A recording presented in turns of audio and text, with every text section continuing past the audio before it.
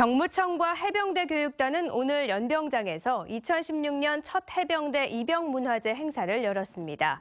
오늘 행사는 해병대 출신 부자 찾기와 즉석 사진 촬영 서비스, 치어리딩 등 다양한 공연 프로그램에 이어 아들을 격려하는 어머니의 편지 낭독과 여자친구의 고무신 선서 등을 통해 입영자와 가족들에게 추억을 선사했습니다. 올해 해병대 입영문화제는 오늘을 포함해 네번 열리고 포항시는 시티 투어 버스를 무료 제공하는 한편 입영자 가족들에게 음식값과 숙박비를 5에서 10% 할인해 줍니다.